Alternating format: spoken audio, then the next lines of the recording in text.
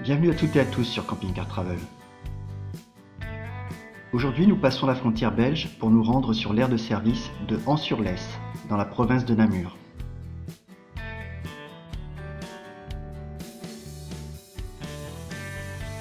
Elle est située sur un parking en centre-ville dont une partie est réservée exclusivement aux camping-cars. Selon la période, il vous en coûtera entre 7,50€ et 11€ pour 24 heures. Pour ce tarif, vous bénéficiez de l'électricité et de l'eau à volonté, ainsi que de la vidange des eaux grises et noires. Pour le plein d'eau et l'électricité, des bornes sont réparties à côté des emplacements. Ans-sur-Lesse est surtout connu pour ses grottes. Un tramway ou des bus vous emmèneront sur place pour les visiter.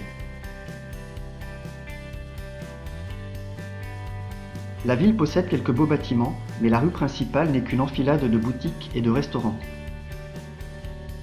L'aire de service de Ans-sur-Lesse est bien équipée, mais un peu cher en pleine saison. La visite des grottes étant l'attraction principale, le temps qu'il fait à l'extérieur importe peu. Préférez donc le hors-saison. Si vous aimez nos vidéos, n'oubliez pas de les partager et de vous abonner à notre chaîne, ainsi que de nous suivre sur les réseaux sociaux. Bonne route et à bientôt sur Camping Car Travel.